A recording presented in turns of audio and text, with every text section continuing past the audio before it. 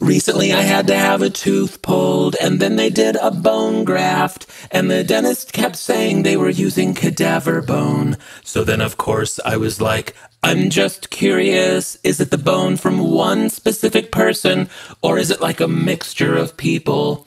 And then the room got really awkward, and the dentist, in a really serious tone, was like, We're not allowed to disclose that information. And I was like, I'm not going to try and go hunt down their families or something.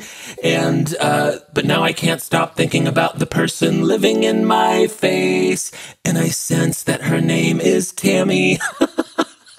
and uh, now my face is haunted. And that's the story of Tammy the Face Ghost.